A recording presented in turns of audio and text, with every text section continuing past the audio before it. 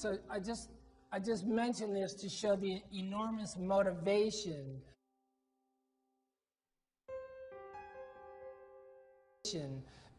economic and otherwise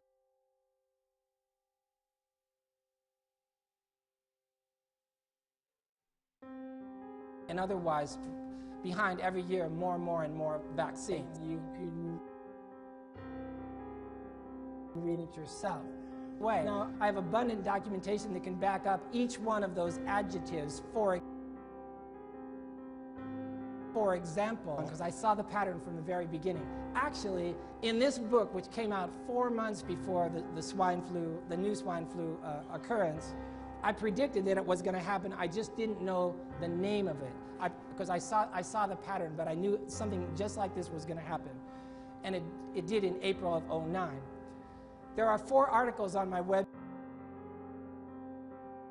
website where I trace it all through. This is the this. They took this video and they put their own, you know, shrieking shrieking headlines on top of uh, above the video, you know, one of which I'm going to show you here.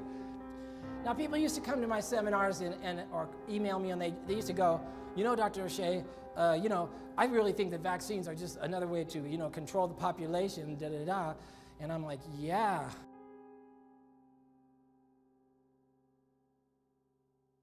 What time is it? God, conspiracy, black helicopters, I'm out of here, whatever.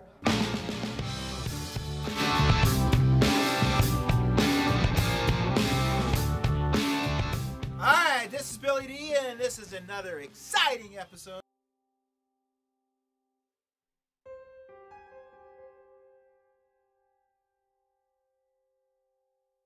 Episode of the Weekly Buzz, and we're going down under tonight. We got Tim and Tim tonight. Tim Shakespeare and Tim O'Shea, also known as the Justisaurus Rex, and also known as the Doctor Within.com. Smartest dude on the planet. Anytime I have a question, I call this guy.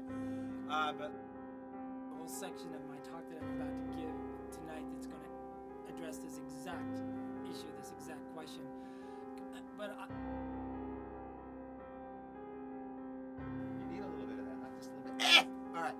God bless you all. Rock. Can we do the rock and roll thing? Can you do that in Australia too? All right. I thought that was Black Tell you what, Tom could come down here. She's got more colonies than any.